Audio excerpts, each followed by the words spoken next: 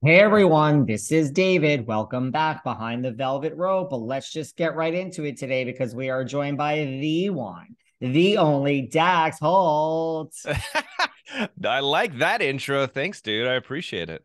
I mean, listen, it's 8 a.m. Like, so Rachel Uchitel, which is how we really ultimately mm-hmm. connected, even though you've been on my radar forever she was like, Why are you doing this with Dax at 8 a.m.? I don't understand. I'm like, I wish everybody wanted it. I'll do a 6 a.m. if you want. I love the early early mornings because I, I feel like I got a bunch of things I got to get done in the day. And so it's like knock it out so then I can go out and, and do what I need to. But I do love the fact that we met through Rachel Uchitel. Like what a what a weird thing to say, right? I mean, right? Like, what is, I mean, I was out having drinks with her in New York and it just, you know, because she started her podcast. I know you were on, I was just on, and she was like, this and that, and you should interview Dax, you should have him on. And I'm like, you've been on my list forever. And it's just like, I know, you know, John Pascarella and your media company, because I do a lot with Melissa Rivers. They actually, the other day we were speaking, they were like, you know, who would be great on your show? they're like, you really need to do some collaboration with Dax. And I'm like, it's happening in like a day. so like all of a sudden you're circling in my world. But yes, we technically met through Rachel, Uchitel. It's so funny. Yeah. Same same here. I feel like I've known your podcast for a long time and been like, okay, we just need to make it happen and and never had. And so I'm I'm glad that we are finally doing this. Were you always like into celebrity growing up?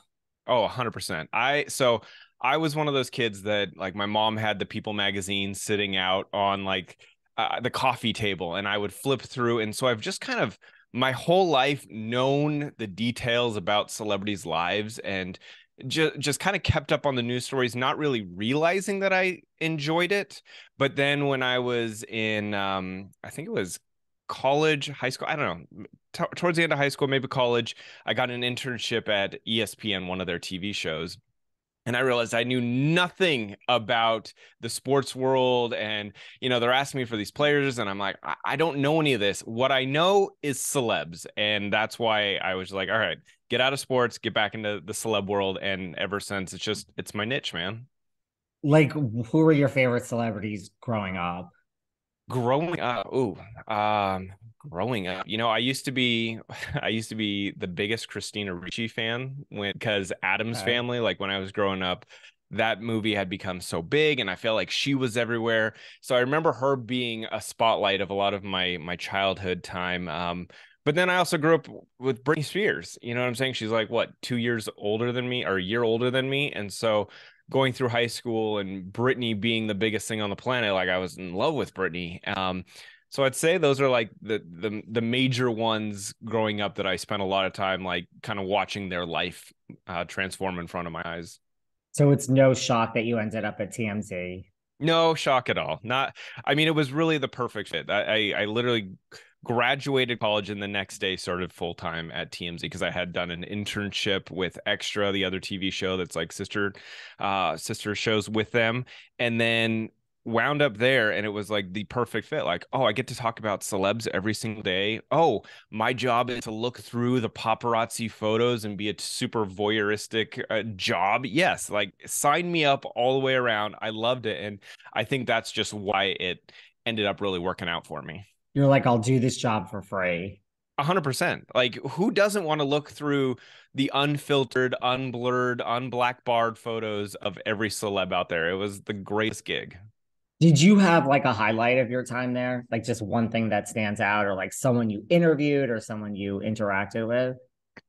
Ah, I mean, it was like 12 years at TMZ. So I wouldn't, I, I would say it wasn't one moment, but I, I mean, I just, I look back at so many fond memories of, of working there and the people I did like getting to meet, you know, Kim Kardashian or Paris Hilton or Justin Bieber or, uh, you know you just you would wind up meeting a lot of people and of course not everyone would like you because you worked at TMZ. Don't get me wrong, but then there was a lot of people that would. Like I, I, remember David Spade coming up to me at a restaurant and just introducing himself and saying how much he enjoyed the TV show. And I think because TMZ put uh, comedians, they gave them a platform that the other shows weren't doing for them. You know, and so there was a lot of people that appreciated TMZ and a lot of people that didn't. I mean, I had Janice Dickinson literally run the opposite way from me when she saw me walk into a restaurant.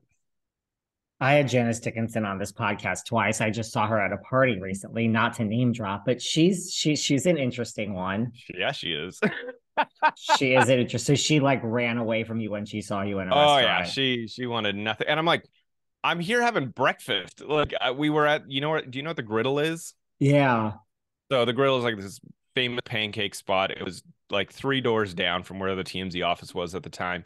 And I just went over to grab some breakfast. She was in there and she took one look at me and she was like, Nope, not staying and pieced out. I'm like, I don't have a camera. I'm not even a camera person. I just am an employee at this company that clearly you are not a fan of do you ever has anyone you know through that or like hollywood raw your podcast i mean you know but you're actually nice on your podcast. Like has has anyone just come up to you? You know like you hear the stories like you know like perez hilton i've spoken to you know like that typical you know jennifer aniston in the parking lot. Like did you ever have like someone just come up to you and be like listen i have a few words to say to you like and they're standing right in front of you so not really. And I think that was because I changed the way that I reported a long, long time ago. So right when the TV show first started, I want to say the first thing I said on air was that Criss Angel was a douchebag. That was literally my first words on national television.